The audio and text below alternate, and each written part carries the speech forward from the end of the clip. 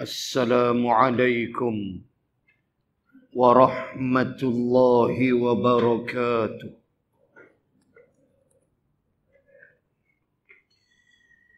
الحمد لله وكفى أشهد أن لا إله إلا الله وحده لا شريك له واشهد ان سيدنا محمدا عبد الله ورسوله اللهم صل وسلم على رسول الله وعلى آله وأصحابه أجمعين. سبحانك لا علم لنا إلا ما علمتنا. إنك أنت العليم الحكيم. بسم الله ما شاء الله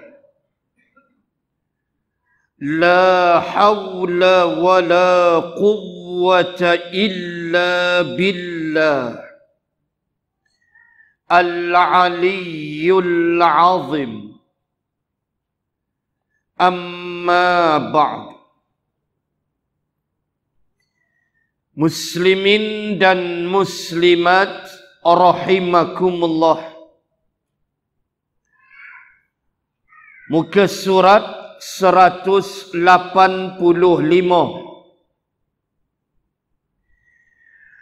Masih lagi pada peringkat muqaddimah. Di bawah tajuk Membezakan antara kufur syirik, nifak besar dan kecil. Dan kita selesai membahaskan perenggan yang pertama daripada bab ini. Sambung malam ini perenggan yang kedua. Nas-nas syariat Islam mengistilah perkara-perkara tersebut yakni kufur syirik dan nifak ke dalam perbuatan maksiat. Perenggan kedua yang kita sambung pada malam ini menjelaskan bahawa semua sifat-sifat itu syiriknya, nifaknya besar atau kecil kufur dan sebagainya semuanya termasuk dalam kategori maksiat. Dan apabila ia perkara maksiat maka ia mengundang dosa kepada pelaku-pelakunya. Cuma yang akan kita bahas ialah darjat dan tingkatan maksiat itu. Ada di antara darjat maksiatnya tidak membawa pelakunya keluar daripada Islam. Itu kena faqih. Kita akan hurai nanti. Itulah al-awlawiyat dia. Keutamaan dia. Supaya tidak timbul persoalan takfir. Ataupun kafir mengkafir. Oh, kerana ada dosa maksiat pelaku dia tidak keluar daripada Islam. Nanti kita lihat. Ini mukaddimah awal. Dan bila kita sebut maksiat, itulah di antara ciri hati-hati orang-orang yang beriman kepada Allah. Dan itulah golongan yang Allah sebut sebagai golongan ar-rasyidun. Golongan yang mendapat petunjuk dari Tuhan mereka. Ayat yang boleh kita rojok untuk bab ini yakni hati orang-orang beriman berkait dengan maksiat dan mereka itu masuk dalam golongan ar-rasyidun tuan-tuan muslimat buka ayat yang ketujuh. Suratul hujurat. Ini amat penting. Di pertengahan ayat yang ketujuh. Pangkal ayat dia wa'lamu anna fikum rasulullah. Tu pangkal ayat dia. Ayat nombor tujuh Al-Hujurat. Surah yang keempat puluh sembilan juzuk 26 ayat yang ketujuh pangkal ayat wa'lamu anna fikum rasulullah bukan itu saya nak bahas. Tapi tengah-tengah dia. Di tengah-tengah ayat tu saya bacalah seluruh ayat. Wa'lamu anna fikum rasulullah law yuti'ukum fi kathirin minal amri la'anittum walakin Allah habbaba ilaikumul imana wa zayyanahu fi qulubikum wa karraha ilaikumul kufra wal fusuq wal isyan ulaika humur rasyidun tu poin besar tuan-tuan muslimat tolong tengok start daripada walakinnallah. Tinggalkan sekejap yang atas tu. Wa'lamu anna fikum rasulullah. Hak tu tinggal sekejap. Tengok yang tengah-tengah dia. Walakin Allah habbaba ilaikumul imana wa zayyanahu fi qulubikum. Di antara ciri hati yang dimiliki oleh orang-orang yang beriman kata Allah. Kita boleh scan kita boleh tahu hati kita ni jenis elok ke tidak. Allah ajar dah dalam Quran nak scan hati kita.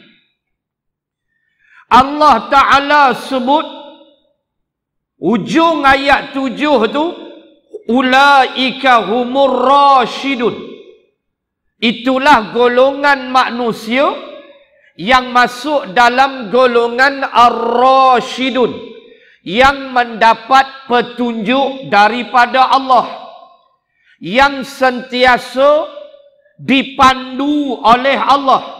Maka ada sifat dia. Sifat dia apa?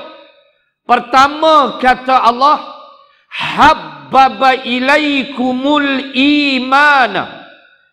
Orang yang beriman habbaba ilaikumul iman Orang yang ar-rasyidun itu mereka itu habba kasih mencintai akan keimanan.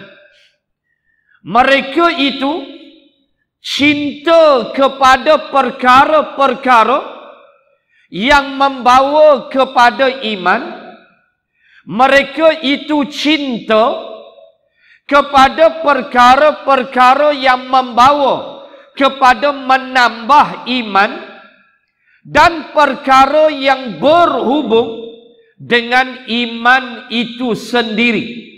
Iman bahasa Melayu makna percaya. Itulah makna iman. Di sudut bahasa iman makna percaya. Seperti ucapan abang-abang Nabi Yusuf kepada Nabi Yaqub ketika mereka kelentong Nabi Yaqub. Di sana ada kalimah iman. Apa ayat?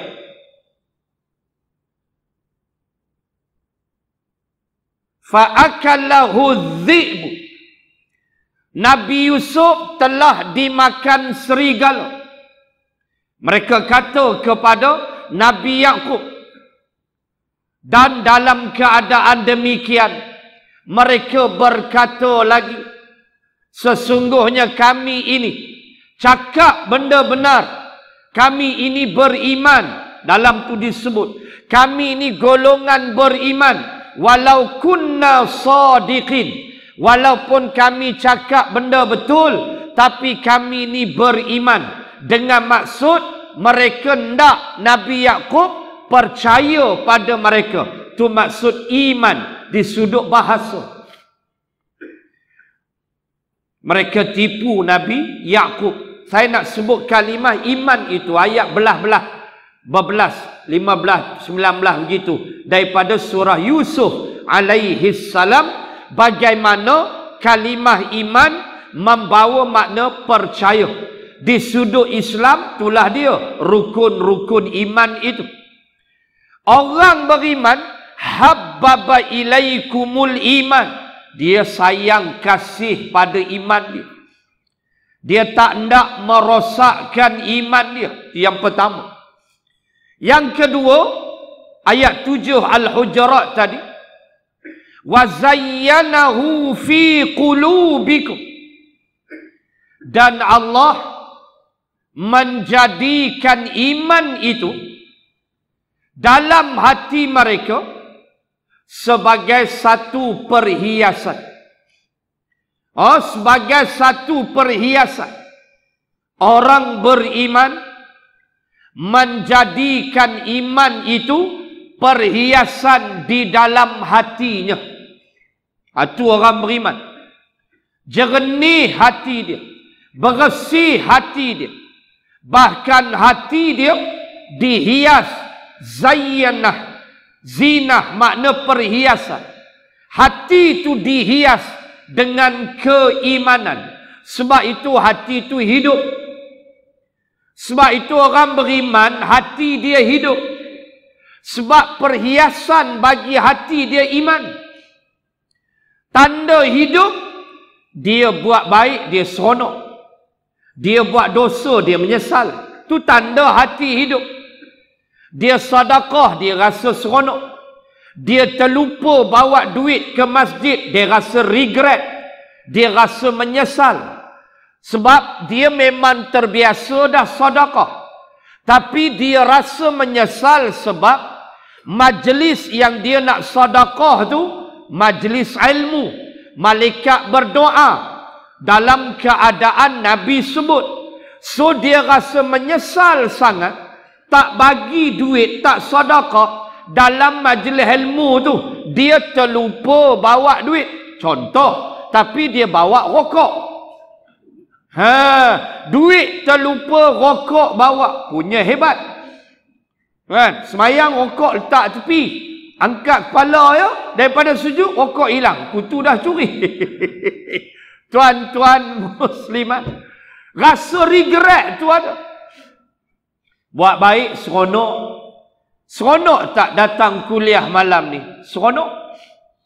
Saya nak demam ni semua. Seronok saya datang dalam keadaan menyampaikan ilmu. Tuan-tuan muslimat, itu tanda hati kita hidup. Bila buat dosa, menyesal, rasa menyesal. Wah, dosa kecil aja. Bila buat baik, rasa puas hati. itulah hati yang hidup. Allah kata, orang beriman macam itulah hati dia. Sentiasa hidup sebab dihias oleh iman. Itu dia. Sebab itu, orang-orang beriman, saya ambil satu kisah lah. Nak kait dengan sepotong ayat 206 Al-Baqarah. Saya nak kait yang itu. Nak ambil contoh hidupnya hati orang beriman. Sayyidina Umar dan pembantu-pembantu dia dan kisah dia dengan seorang perempuan tua. Habis kisah ni, saya patah balik ayat 7 Al-Hujurat. Tak habis lagi. Tentang maksiat. Baik nak ambil contoh hati hidup pada suatu hari Amirul Mukminin Sayyidina Umar radhiyallahu anhu berjalan bersama dengan setiausaha politik dia PA dia yang baru saja graduate fresh graduate baru kerja dengan Umar gaji lima puluh. Asal seribu lima ratus, kerat empat ratus lima puluh. Tuan-tuan muslimat. Jalanlah Omar dengan pembantu-pembantu dia.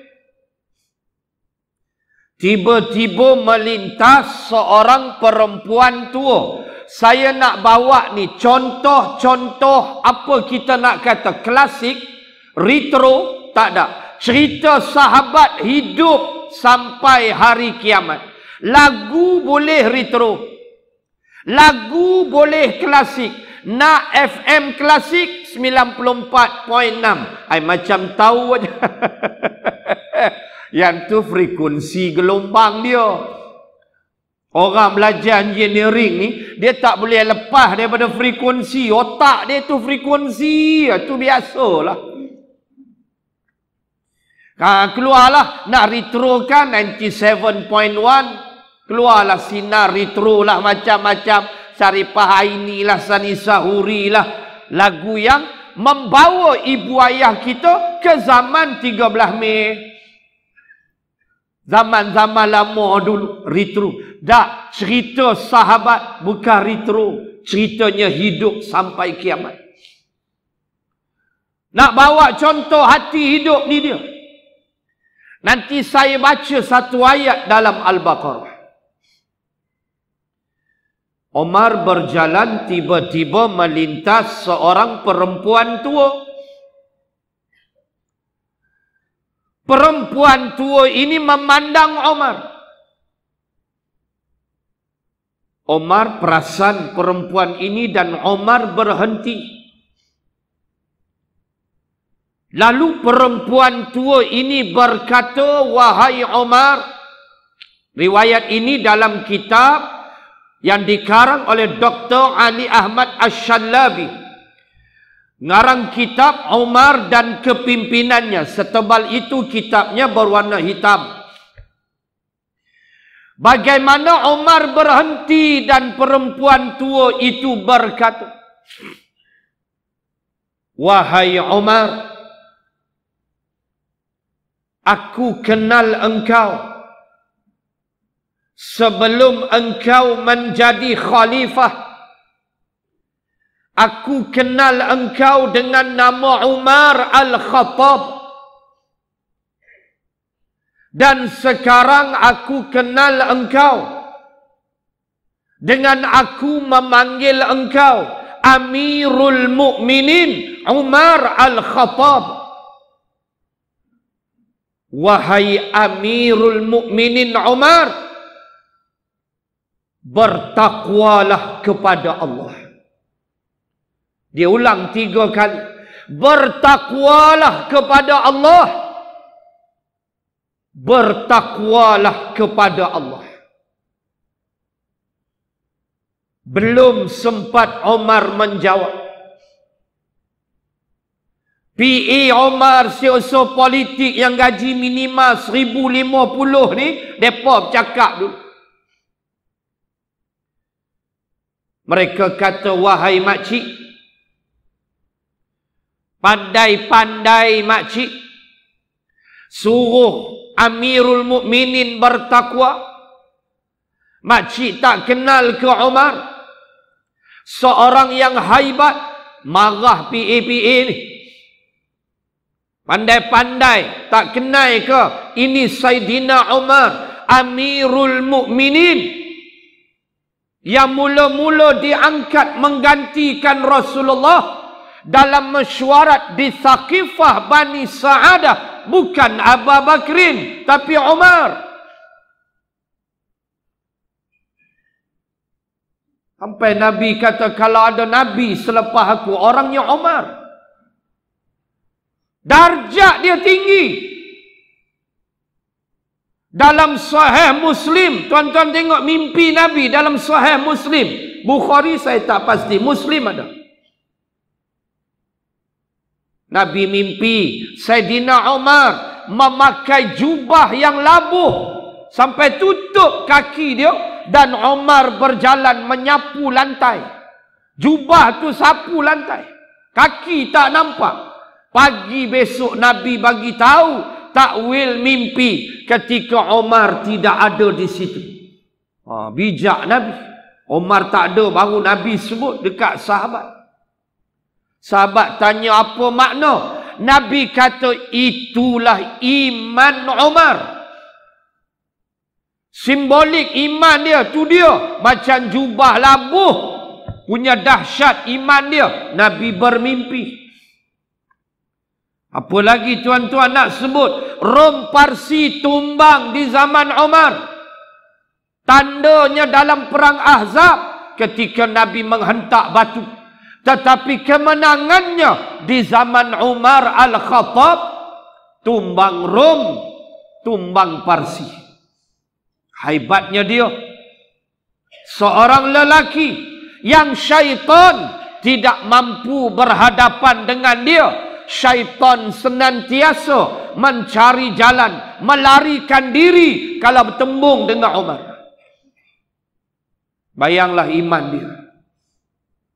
Kalau ada pengganti lepas aku, kata Nabi, orangnya Umar. Hadis sahih. Tiba-tiba makcik ni kata bertakwa, mengamuklah ni. Lalu Umar memarahi pembantu-pembantu dia. Sambil Umar berpaling. Wahai makcik, ya saya akan bertakwa. Wahai makcik, tu hati hidup. Orang yang hebat. Kita kena teguk masbuk tak betul. Tarik muka sampai ke langit tu. Kita orang Melayu. Mas mayang dah lah tak betul. Mas buk dah lah tak tahu. Semayang maghrib jadi dua. Sebab tak tambah satu lagi. Sebab tak reti hukum masbuk. Semayang isyak jadi tiga. Sebab tak tahu hukum masbuk. Orang muafiq, awak masbuk, tak tahu hukum masbuk, tak tambah satu rakaat lagi. Bila orang tegur, tarik muka, pencong muka. Boh penampak baru tahu. Orang nak tegur, selamatkan awak, berapa kali kita kena? Marah kat kita. Eh betul lah semayang saya. Kita explain masbuk, dia tanya balik. Masbuk tu apa? ha tu mu tak naik angin.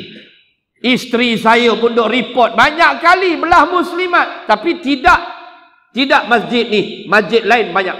Masjid ni kira boleh ah. Jika kalau ada report kat aku.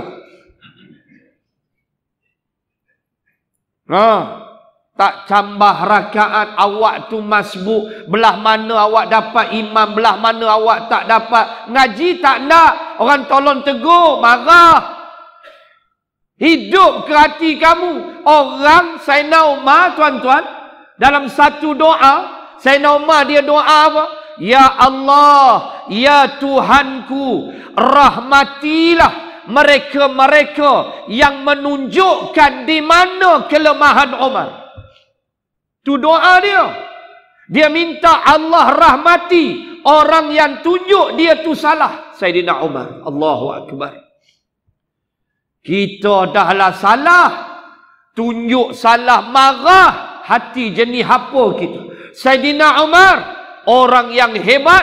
Dijamin syurga. Sepuluh sahabat yang jamin syurga. Antaranya empat khalifah. Termasuk Umar. Dah jamin syurga dah.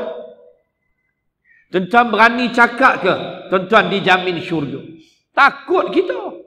Hanya minta masuk syurga. Tapi nak kata jamin tu Allah. Tahajud tiap-tiap malam. Enggak tangan tak? Tambah mesti ribut ni. Lena awal. ha. Tuan-tuan. Lemahnya kita. Sayyidina Umar sampai tahap tu sampai dalam riwayat yang sahih diajar tauhid akidah Umar. Ketika Umar bercakap di hadapan Hajar Aswad hei batu! Aku cium engkau sebab aku melihat nabi aku cium.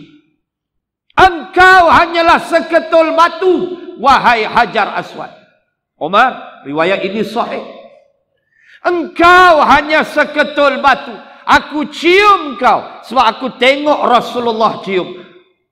Kalau Nabi tak cium, aku tak cium kau. Engkau hanya seketul batu. Diikat perbuatannya dengan Rasulullah. Punya hebat. Rom Parsi tumbang, tuan-tuan. Kita lima belas kursi jadilah. Tu pun jenuh. Rom Parsi tumbang. Kita hampir-hampirlah insya-Allah mudah-mudahan dah ada kawan baru ni. ah tu panjang cerita kena pi usrah lah tak boleh habaq dalam kuliah. Tuan-tuan, nak sebut mudah-mudahan ada sinar lah nanti empat tahun lagi dengan kawan baru ni. Mudah-mudahan. Tuan-tuan, Omar tumbang rum Parsi. Tak, makcik tua tu teguh. Dia kata, makcik, saya akan bertakwa. Tu hati hidup. Tak itu kita orang teguh buat salah, tolonglah. Tambah buat ibadah. Tak betul. Terima. Tambah buat solat. Mungkin jadi imam tak betul. Terima. Fatihah mungkin baca tak kena terima dengan lapang dada. Siapa kita dosa bertimbun-timbun?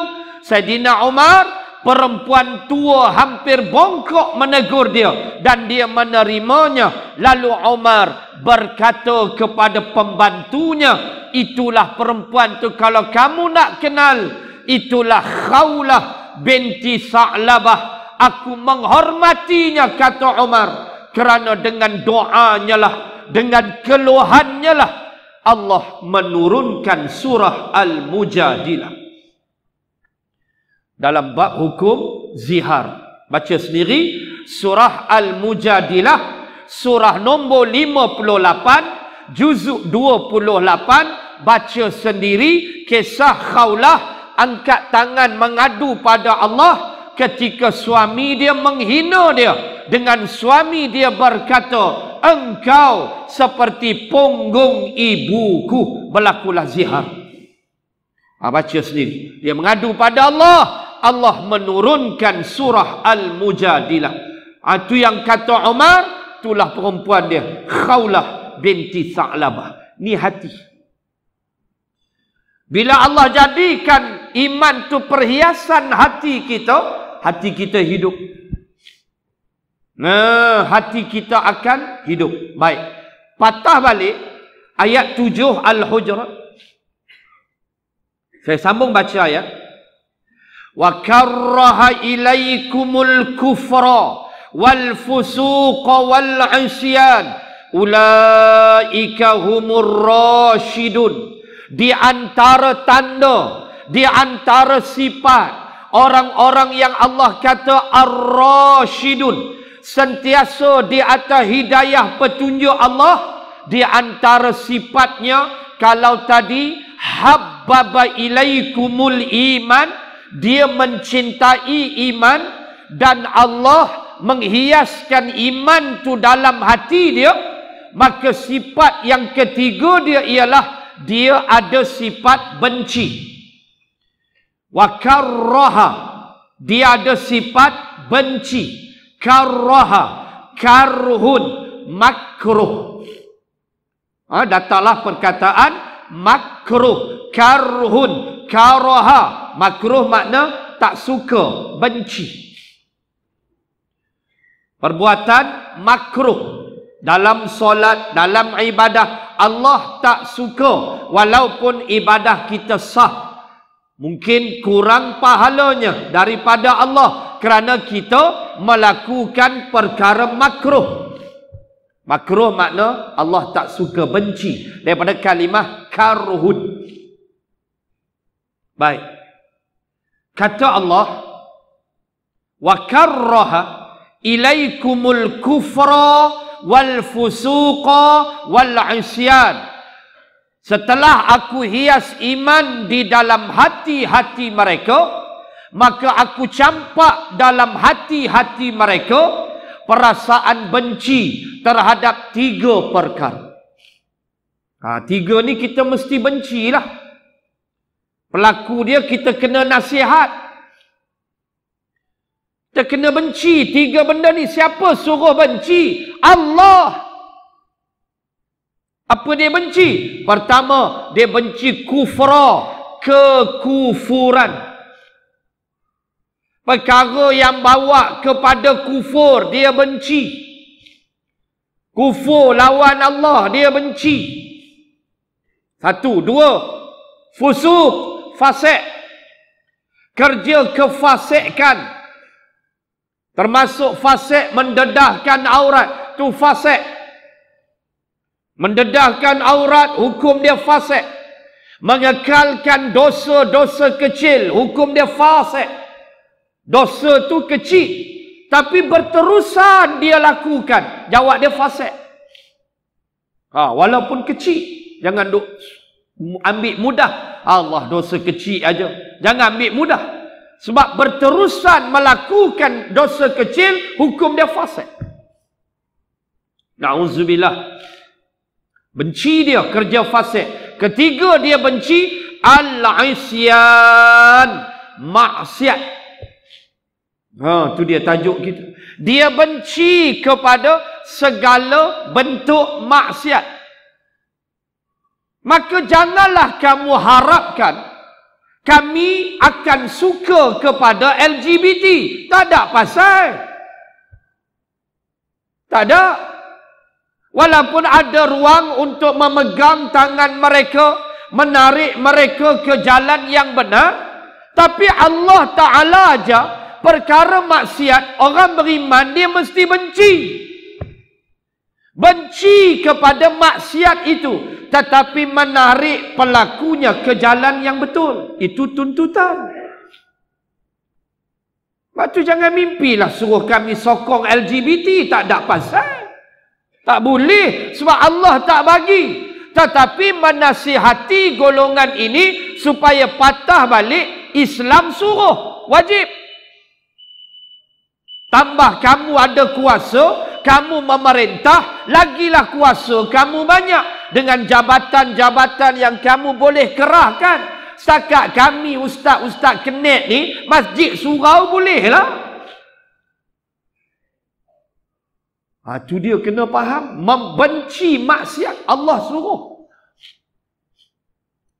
Pelaku dia, pelaku dia seret, tarik dia ke jalan benar. Tinggalkan, ajak mereka tinggalkan. Itulah dakwah. Gunalah apa yang patut kamu gunakan. Bagi tahulah buruknya lesbian, buruknya gay apa semua ni. Bagi tahulah itulah hati yang hidup apabila dia melihat maksiat dia benci dan soal hukum ini perkara yang tak boleh kita tolak. Tapi bila hati mati, semua jadi tak betul. Semua jadi tak elok sampai kepada mencemuh hak yang telah ditentukan oleh syarak. Maka ingat, Al-Hujurat ayat nombor tujuh pesan dekat kita supaya kita membenci maksiat. Pelaku dia tarik.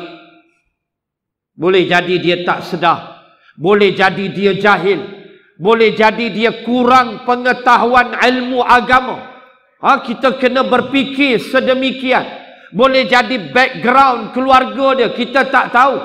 Ha, itu tugas orang yang punya kuasa melalui jabatan ke apa saja atau kerja kita melalui adinun nasihah melalui agama ini nasihat kita ajak dia balik. Tapi nak nak redha pada kerja kamu tak boleh. Tak boleh. Sampai nak itirah-itirah tak boleh. Ha, tu kena faham. Allah suruh benci kerja maksiat di samping kita memberi nasihat. Itu ha, maksud dia. Saya kait tadi ayat nombor tujuh kita sambung. Iaitu ia termasuk dalam perbuatan maksiat. Khususnya perbuatan yang masuk ke dalam al-kabair yakni dosa-dosa besar. Tuan-tuan muslimin dan muslimat di sana ada seorang ulama yang bernama Imam Az-Zahabi. Nama dia Syamsuddin Imam Syamsuddin. Digelar Imam Az-Zahabi. Lebih popular dengan gelaran Imam Az-Zahabi. Az-Zahabi. Zahabi makna emas. Kenapa? kerana keturunan dia keturunan yang kaya dengan emas ayah dia datuk dia toki kedai mah ha tu dia. Datuk family dia semua kerja menempa emas. Maka dia digelar Imam Az-Zahabi. Pengarang sebuah kitab dia karang kitab ribu kitab dia. Imam Az-Zahabi antara kitab dia yang terkenal ialah Al-Kabair iaitu kitab yang menghimpunkan hampir 70 lebih dosa-dosa besar. Oh disebut dengan Al-Kabair. Istilah ni bukan istilah manusia tetapi istilah Al-Quran. Alladzina yajtanibuna kabairal ismi wal fawahisha illa lamam inna rabbaka wasi'ul maghfirah ayat 30 lebih Surah An-Najmi. Ha, lebih tu cari sini. 32 ke 33. Begitulah. Surah An-Najmi. Nak bagi faham Al-Kabair. Al-Kabair makna dosa-dosa besar. Pengarang kitab dia Imam Az-Zahabi. Al-Kabair bukan istilah manusia.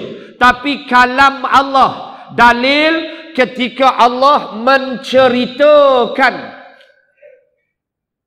tentang ahli syurga. Orang yang masuk syurga. Tu tengok dalam ayat tu. Ayat 30 lebih lah. Surah An-Najm. Mula pangkal dia. Al-Ladhi. Al-Ladhina yajtanibuna kabair. Antara sifat orang yang masuk syurga orang yang mendapat redha Allah ialah mereka yang yajtanibu yang menjauhkan diri mereka daripada al-kabair allazina yajtanibuna kabair mereka yang menjauhkan diri mereka yajtanibu jauh datang kalimah junub Ya jetanibu jauh. Junub makna jauh daripada ibadah. Jauh daripada semayang. Itu kata berjunub. Ya jetanibu. Maknanya jauh. Mereka itu golongan yang menjauhi. Ya jetanibunal kabair. Mereka menjauhkan diri dari dosa besar. Arak tak minum, rasuah tak ambil, riba tak makan, zina tak buat. Apa saja kabair, ya jetanibu. Dia jauhkan diri dia. Sambung ayat tu. Al-fawahisha. Kemudian dia jauhkan diri daripada maksiat dan mungkar. Sifat ahli syurga, dosa-dosa besar dia tak buat. Tetapi kata Allah, illal lamam. Illal lamam. Yang ni dia tak dapat elak. Ahli syurga, dia boleh jauhkan diri dia daripada dosa besar. Ya jatanibun kabairal itfawahisha illal lamam.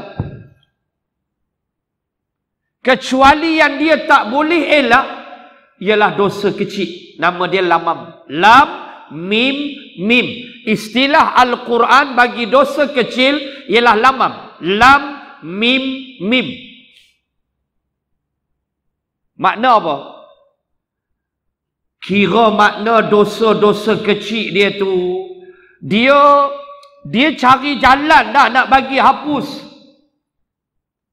mudah bicaranya kamu takkan dapat elak dari dosa kecil. Yang tu Allah maafkan. Allah maafkan. Yang penting dosa besar jangan buat. Ha tu dia. Ya jatanibunal kabaira. Al-kabair tolong jangan buat. Tapi lamam dosa kecil ni siapa yang tak buat? Main kat tangan saya. Nengok amoy melintah.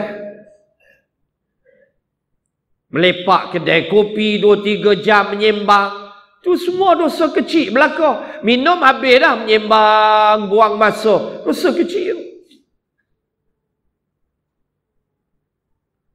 Baik itu Allah kata illa lamam. Kita buat dah cari jalan nak hapuskan dosa-dosa ni. Dosa kecil ni.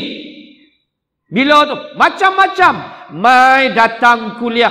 Datang kuliah dosa hapus dah? Hapus. Dosa apa? Dosa kecil. Kita berjalan ke tempat cari ilmu, tempat pengajian. Satu langkah kita, Allah hapus satu dosa. Allah angkat satu darjat. Hapus satu dosa. Dosa tu apa? Dosa kecil. Mereka lawyer buruk kata kami naik kereta Ustaz. Tak ada langkah. Sepak pun kau angat. Cara kereta lah Allah hapus. Tahulah Allah. Tayar kereta ham golek. Lepas tu, ha, tinggal kereta main berjalan tu. Saya berjalan kaki pada Laguna. Sampai Sungai Laya syahid. Punya luruh nak ikut hadis. Luruh. Habak setapak. Oh kira tapak tak boleh naik motor. Mampu kita. Hapus dosa. Dosa apa tu? Dosa kecil. Oi, besok sembilan Muharram tuan-tuan oi. Besok nak puasa sembilan Muharram. Nabi waktu hijrah ke Yathrib, Nabi tengok orang Yahudi puasa sepuluh Muharram. Nabi tanya orang Yahudi apa puasa apa? Sepuluh Muharram ni. Yahudi kata kami puasa merayakan kemenangan Firaun kalah hari ini Nabi Musa menang. Bahasanya ialah 10 Muharram Firaun mampu. So kami puasa merayakan kemenangan Nabi Musa. Kata Yahudi. Jawab Rasulullah, Nabi Musa tu lebih berhak kami rayakan bukan hampa. Berhak lagi Nabi Musa tu atas kami. Kata Rasulullah. Maka Rasulullah arahkan sahabat puasa 10 Muharram. Hari kami, lusa. Tiba-tiba Nabi habak, kalaulah aku bernyawa tahun depan, kalaulah aku hidup lagi tahun depan, aku akan puasa sembilan Muharram. Tahun depan tu Nabi wafat. Nabi wafat bila? Rabiul Awal.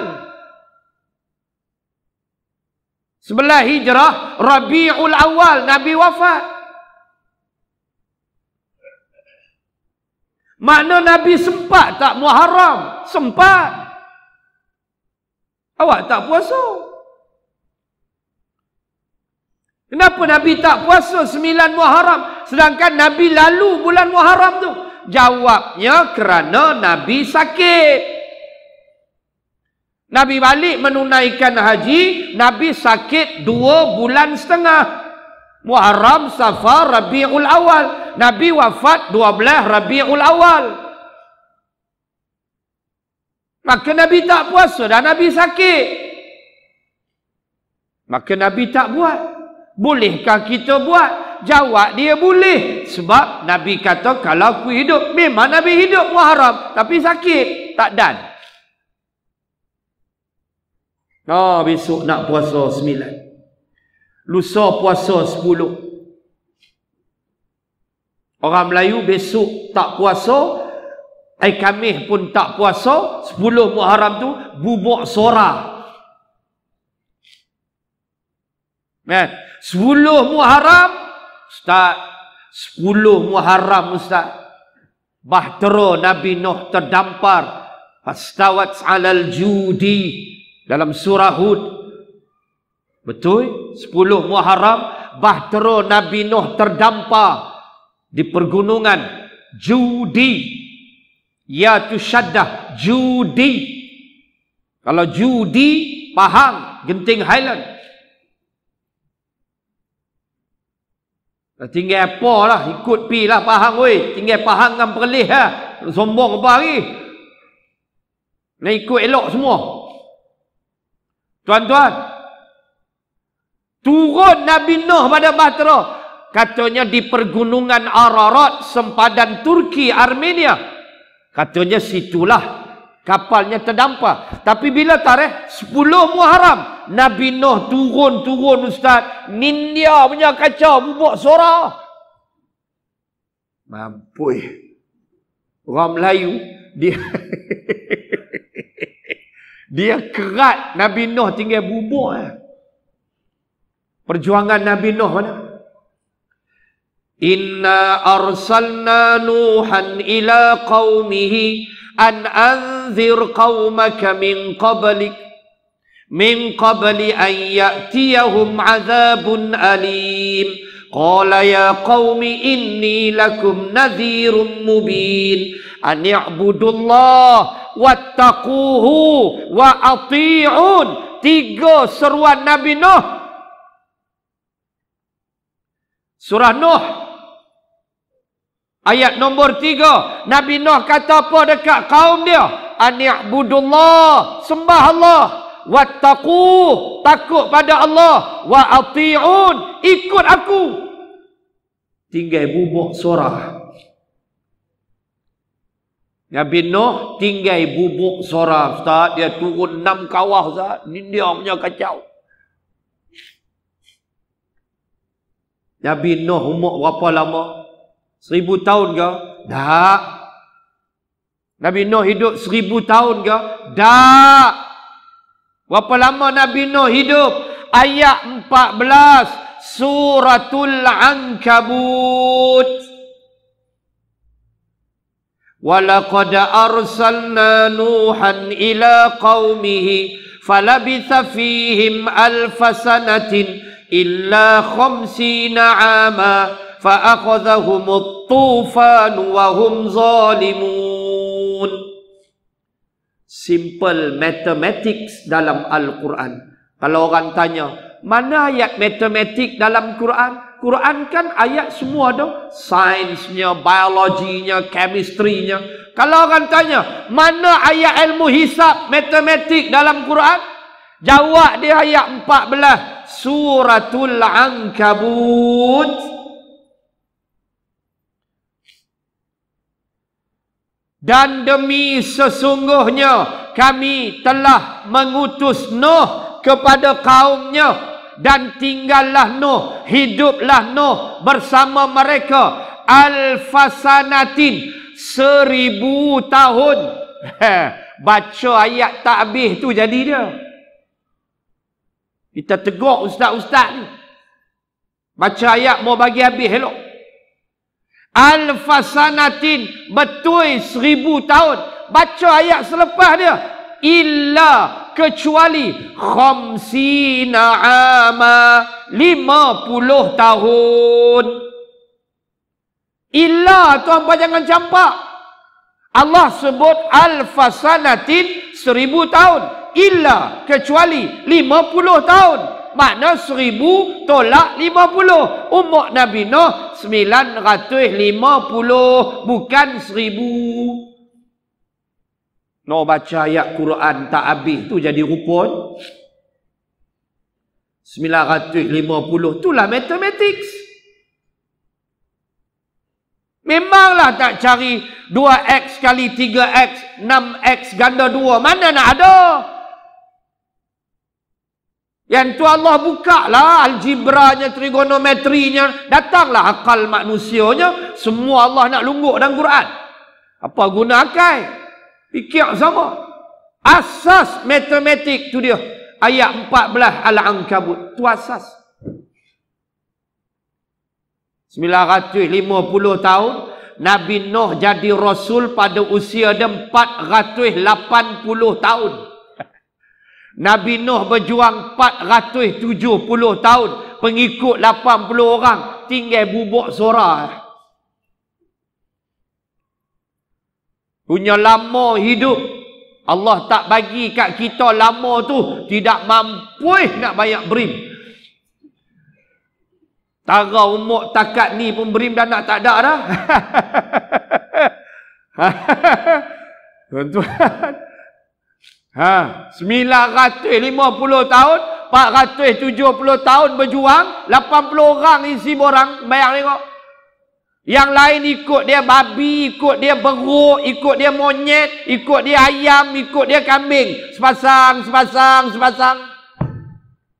Orang ambil teruk pada babi kita mengikut Nabi Nuh. Termasuk bini dia, termasuk anak dia. Mampu mati kafir habis.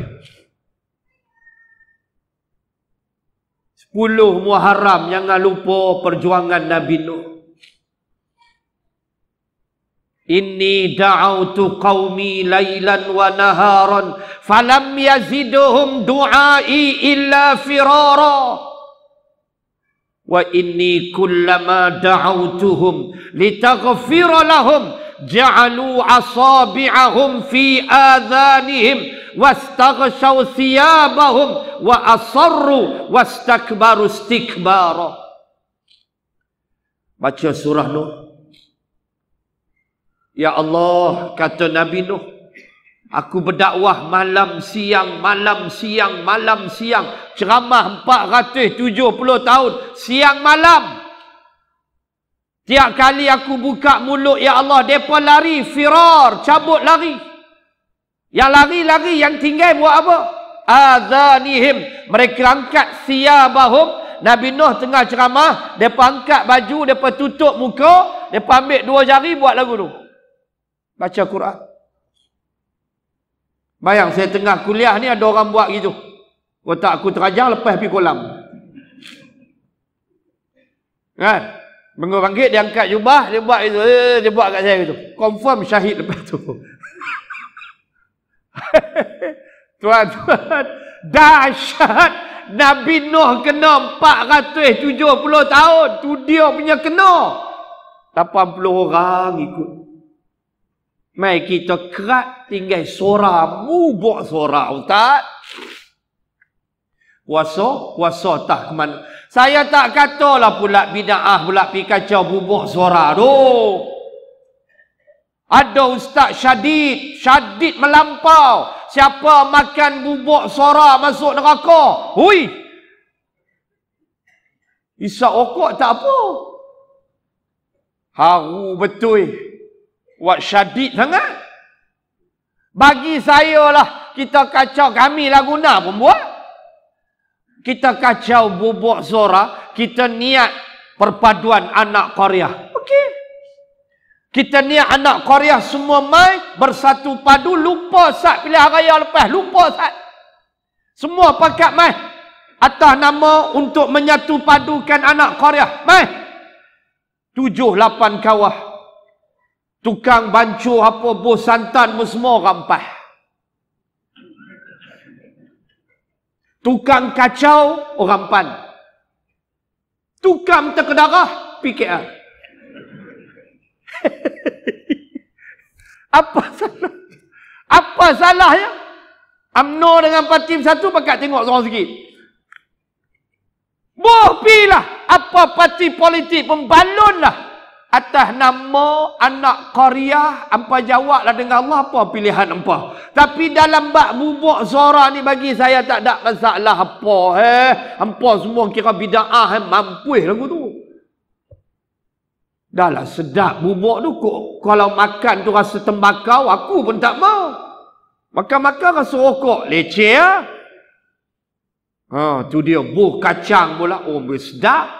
Ha kita gunakan bubuk suara tu menyatu padukan anak Korea. Apa salah ya? Ni dah semua sampai makan bubuk suara masuk neraka. Ya Allah ya Karim beradablah bercakap sikit. Heish. Memanglah janganlah jadikan i'tiqad. Itu aja.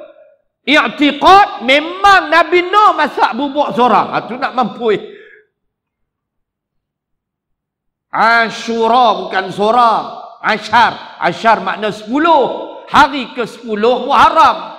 Itu yang Melayu kata bubuk asyura, bubuk asyura. Daripada kalimah asyar. Asyar makna sepuluh. Hak tu pun tak tahu. Entah kedarah enam lori dah bubuk seorang. Duk tak tahu tu lah. Asyura tak tahu, asyar tak tahu. Hak tahu sora. Kerat tinggal sora. Rambutan tinggal moktan. Pencemar bahasa sungguh apa. Tuan-tuan muslimat. Dia pun puasa lah besok. Siapa puasa besok? Alhamdulillah. Siapa puasa besok? Sembilan. Puasa lusa sepuluh. Dua hari. Paling baik. Puasa besok sembilan. Tak puasa sepuluh. Hak tu tak elok. Sebab Nabi tak puasa sembilan. Nabi habak je. Tapi boleh buat. Sepuluh Nabi puasa. Kita sembilan puasa. Sepuluh tak? Ah, tak kena. Sembilan tak puasa besok. Sepuluh puasa. Okey. Dua-dua tak puasa, kerak okey. Sembilan tidak, sepuluh pun tidak, kerak okey. dosa ke? Tak ada dosa eh, benda sunat. Cuma nak apa? Jalan-jalan hapus dosa kecil tu. Balik pada ayat tadi. Ayat 32 ke apa? Tak silap. Surah An-Najmi. Balik pada ayat An-Najmi tadi. Ayat 32 kalau tak silap.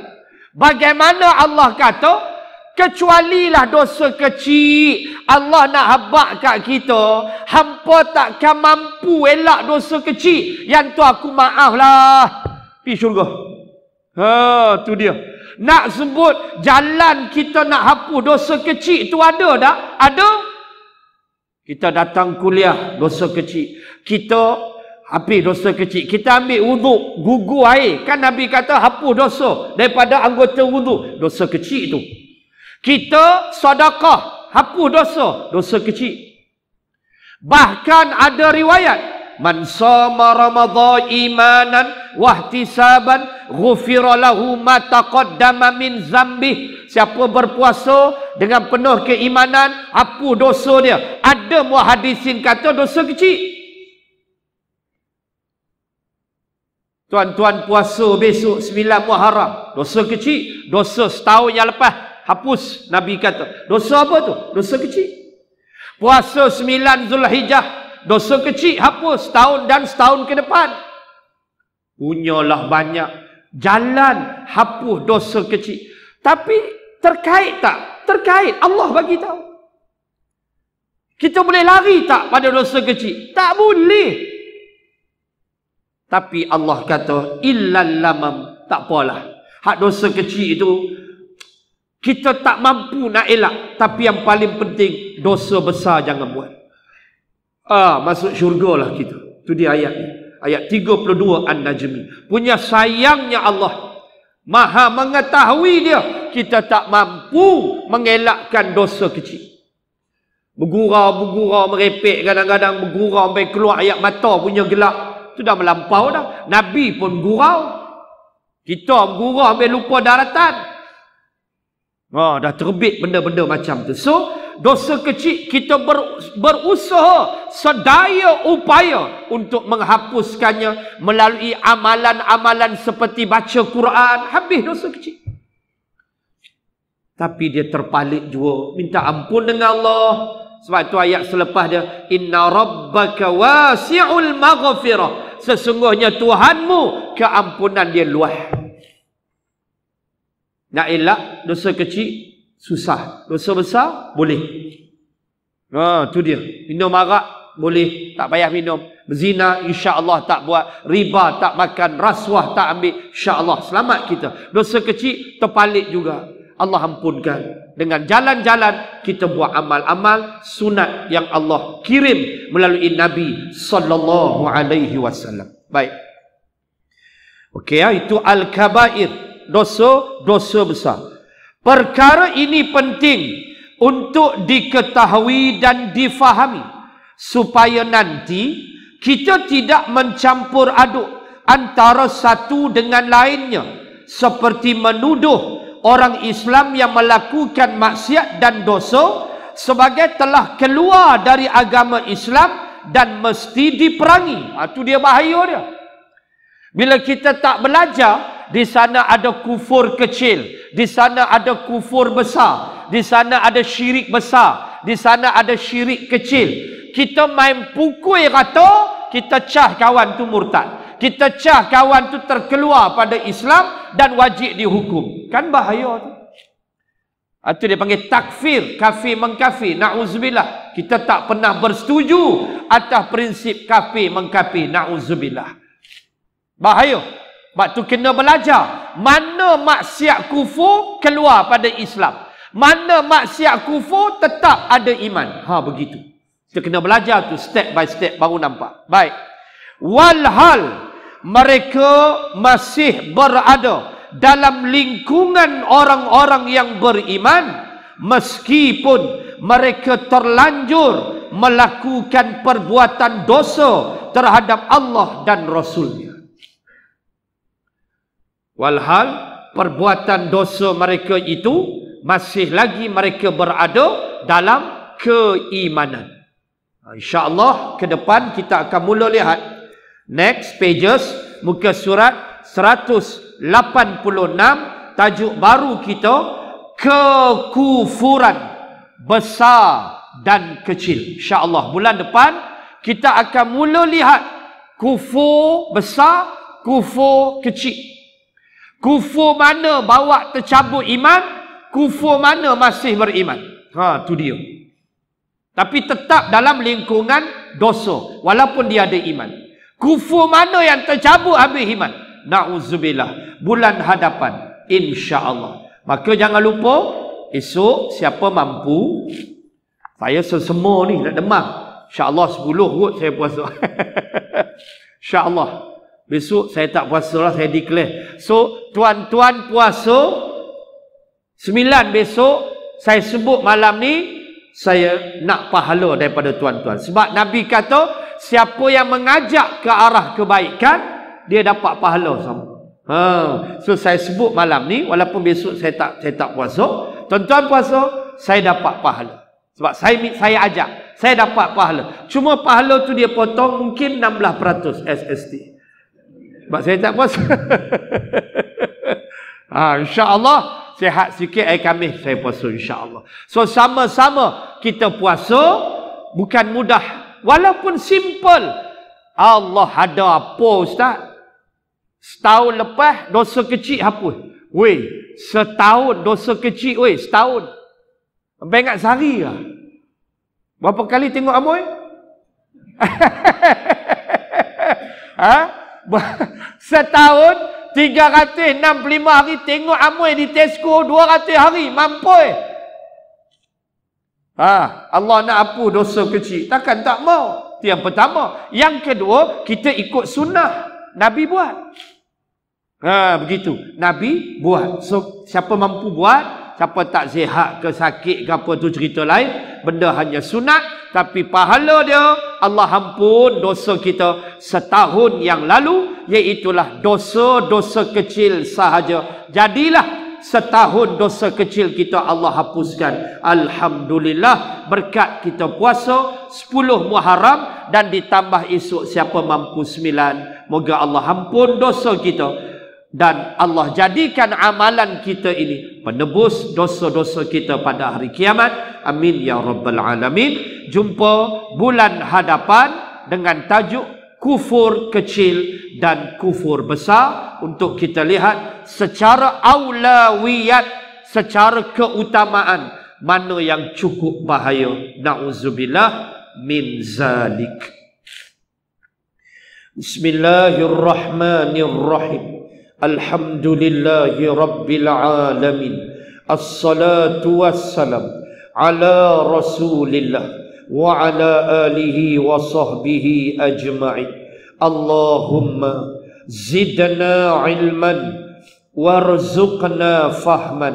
اللهم ارزقنا فهم النبي وحفظ المرسل اللهم اجعل جمعنا هذا جمعا مرحوما وتفرقنا من بعده تفرقا معصوما. وصلى الله على رسول الله. والحمد لله رب العالمين. سبحانك اللهم وبحمدك نشهد أن لا إله إلا أنت ونستغفرك ونتوب إليك. والله أعلم السلام عليكم ورحمة الله